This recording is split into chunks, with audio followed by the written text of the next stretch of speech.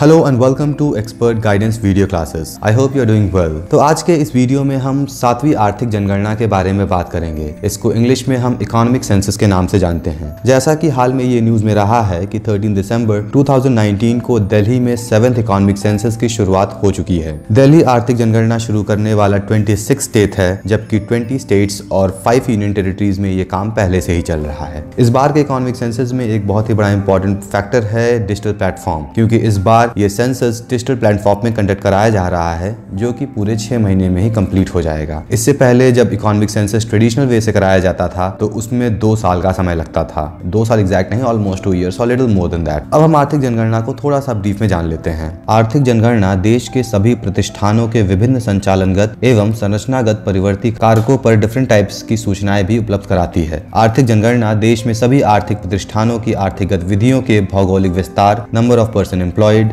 number of establishment type of ownership source of finance इत्यादि के बारे में महत्वपूर्ण इन्फॉर्मेशन प्रोवाइड कराती है। आर्थिक जनगणना के दौरान कलेक्ट किए गए इन्फॉर्मेशन स्टेट और डिस्ट्रिक्ट स्तरों पर सामाजिक आर्थिक विकास संबंधी योजना निर्माण के लिए उपयोगी होती हैं। अब हम देख लेते हैं आर्थिक जनगणना 2019 को थोड़ा सा ब्रीफ में। ईयर 2019 में सेवन आर्थिक जनगणना का संचालन सांख्यिक एवं कार्यक्रम कार्यान्वयन मंत्रालय that is ministry of statistics and programme implementation द्वारा किया जा रहा है। वर्तमान आर्थिक जनगणना में सांख्यिकी एवं कार्यक्रम कार्यान्वयन मंत्रालय ने सातवीं आर्थिक जनगणना के लिए कार्यान्वयन एजेंसी के रूप में इलेक्ट्रॉनिक्स एवं सूचना प्रौद्योगिकी मंत्रालय के तहत एक special purpose vehicle common service centre e governance service India limited के साथ साझेदारी की है। सातवीं आर्थिक जनगणना में आंकड़ों के संग्रह, सत्यापन रिपोर्ट सृजन एवं प्रसार के लिए एक आईटी आधारित डिजिटल प्लेटफॉर्म का उपयोग किया जाएगा। आर्थिक जनगणना के तहत गैर फार्म कृषि एवं गैर कृषि क्षेत्र में वस्तुओं, सेवाओं के उत्पादन या विस्तार से जुड़े